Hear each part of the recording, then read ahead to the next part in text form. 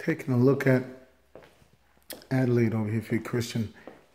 Thoughts on a couple of things. The in-law suite's an interesting factor. How it's done.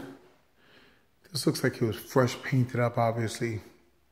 For the most part, for the most part, fresh coat of paint, all tile through. So obviously, very little work in which to be done.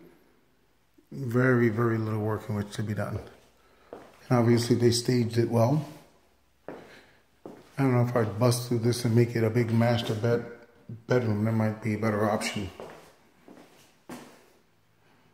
Need some work. What they did in there is not the best, but.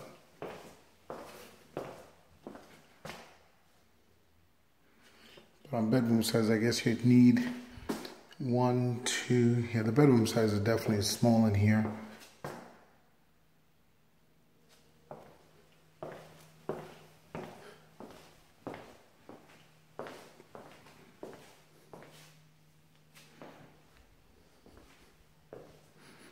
Do like how it's been staged.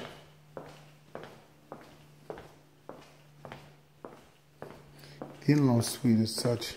I'm not a big fan of how they did the washer dryer room.